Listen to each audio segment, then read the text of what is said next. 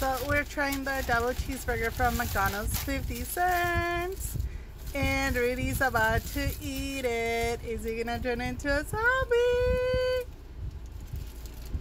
Does it taste any different? Is it not good? Maybe you shouldn't be eating it.